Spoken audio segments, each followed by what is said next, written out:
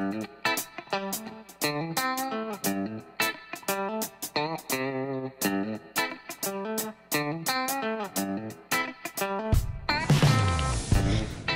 guys, I'm Backspin Boy from Back to the Basics. Today, I'm gonna show you how to backspin. Check it out!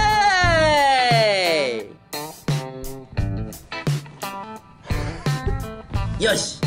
じゃあバックスピンを説明します。まずは、えー体をリラックスしてください。これが一番大事です。でリラックスをしてすることによって、えー体がぶれることがなくなります。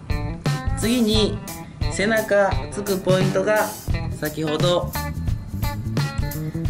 ほうきの絵でついたとこですね。肩甲骨のちょうど間ぐらいをイメージしてください、えーウィンドミルバックスピンに入るときにはこう手を崩していって肩肩を通って背中側に行って背中にこう両方ともこう突きに行くようにするとうまいこと背中の真ん中に軸が入ります。Alright? でステップ1ステップ1ステップ1はウィンドミルを入った時に体を力入れるんじゃなくてウィンドミル入ったらもうリラックス。もう力は入れない。もう大の字。手も足も大の字でまずはゆっくり回る。これを変にこう力入れたり締めようとすると体がバタバタバタってやってバランスが悪くなるので必ずリラックスして、えー大の字で練習してください、えーステップ2が、えーそのリラックスした状態から膝とくるぶしを合わせる。これが非常に大事です。まずはそれだけ。リラックスした状態から膝とくるぶしを合わせるだけ。そうするとこの時点で軸ができてある程度安定して回れます。頑張って。ステップ3が上半身の使い方、えー上半身はイメージではおこれぐらいの大きいボールをこう両手でもう包み込むようにしっかり持ちます。そうすると背中が勝手にこう丸まってくれるのでそのイメージで上半身はこう丸めてってください。でこれができて最後ステップ4がリラックスして足を閉じて上半身を丸めてを全部一緒くたにします。そうすると急激にスピードがグッとこう増すので、えーチャレンジしてみてください。まずは一番大事なのはリラックスすること。リラックスして膝とくるぶしを集めて上半身を丸めて体を閉じる。締める。これを1234を1個に合わせると早くスピンができるので頑張ってみてください。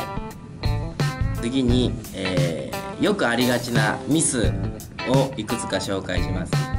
まず、えーウィンドミル入った時にもう入ってまだ軸がこう整ってないのに体を締めようとすると逆の肩の方に乗ってしまって移動しちゃいます。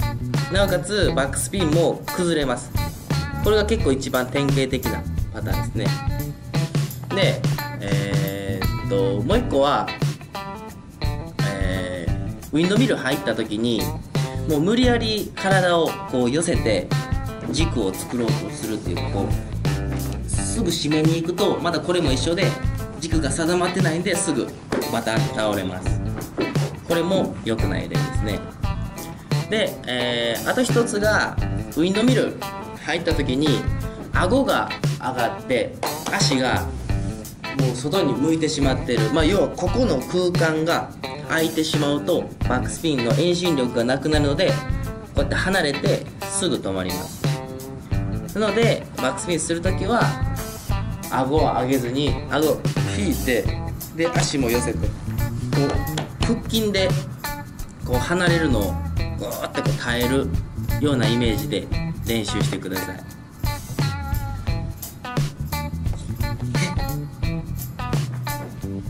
ピンを練習するときはモックネックやジャージを着て練習すると簡単になります。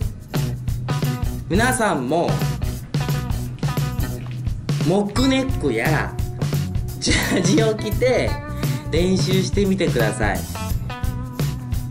あのできるようになります。